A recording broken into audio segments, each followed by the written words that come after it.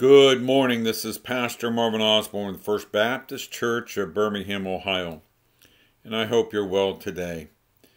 I'm here in my home office doing some videos today, and I'm looking at Proverbs chapter 24, verse 10. Is if you faint in the day of adversity, your strength is small. When troublesome times come your way, oh, it's easy uh, to follow Jesus when the sun is shining, when your bills are paid, when your health is intact, when your children are, are doing what they want to do, when everything is rosy and happy and, and life is going good, it's easy to, uh, to follow Jesus. Uh, but it's a different story when things aren't turning out the way you thought they should.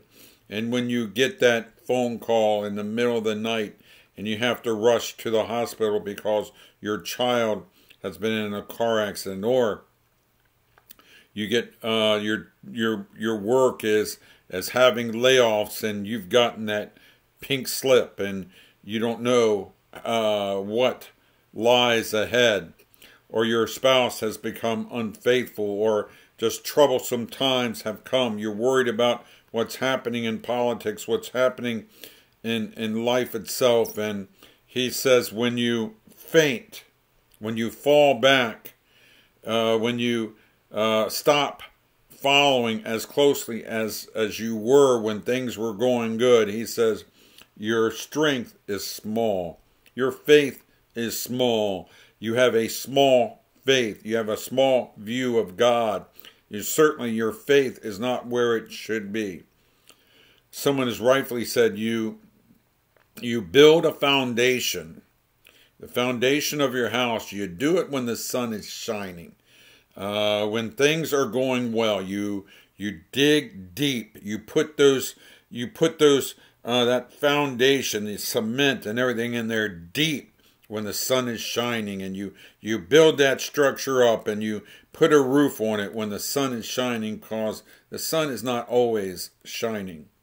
And it's so much easier to put a roof on the on the on the house when the sun is shining than when it's raining and when it's pouring and when you have a tornado or whatever else. It's too late right? Doesn't mean you can't try to cover it up. It means that it's not going to be as strong as it could have been if you spent time doing it while the sun was shining. What happens is oftentimes is when the sun is shining is when we take uh, rest and we tend to fall back a little bit and we and we we're not as zealous in our prayer life. We're not as zealous in our, our reading of God's word. We're not as faithful to God's house and and then when the hard times come, we faint, we fall back, and we wonder where God is in, in all these things. Well, He was there. You had opportunity to build on that foundation and to put that roof on while the sun was shining, and you chose not to do it. The important thing in life is that we're always, whether it's sun, sunny outside or it's rainy outside, we're consistent in our faith. We're continually um, delving into God's word. We're continuing continuing in our faithfulness to the to the house of God, to the word of God, through our prayers to Almighty God, because this life is up and down and seemingly more downs than ups. And if we fall back, we're not going to be prepared for the adversity that will come, and it's going to come. That's just part of life. We don't want it. We don't want to think about it, uh, but it, it's going to come, and whether you're prepared for it or not.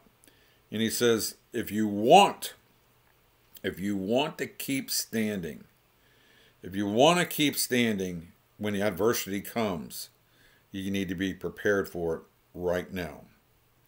We have gone through some troublesome times in our family.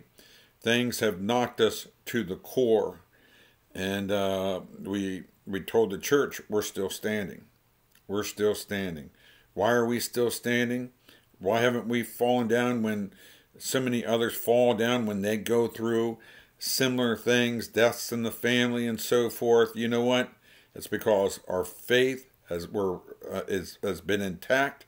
We've continued to invest in our in our spiritual walk. We have built deep roots in Jesus, and uh, we keep saying doesn't mean it doesn't hurt. It absolutely hurts. It continues to hurt. We're continually haunted by it, but our faith in God is intact. And if that's what you want in your life, if you want your faith intact in troublesome times, when the troublesome times comes your way, you need to dig deep now. The deeper the uh, the deeper the the the foundation, the more sure it's going to be. Amen. Let me encourage you. Get in God's word. Stay in God's word. Uh, in good times and bad times, be consistent in what you're doing and don't fall back one way or another and keep putting one foot in front of the other. And you too will be standing in the day of an adver- adversity because it's going to come. It's going to come. None of us get through this life unscathed. We all bear the marks of, of just being human, but we also bear the marks of our faith. Of our faith. And let's keep standing. Let's keep standing together. This is Pastor Marvin Osborne saying, God loves you and I love you as well. And I'll talk to you soon.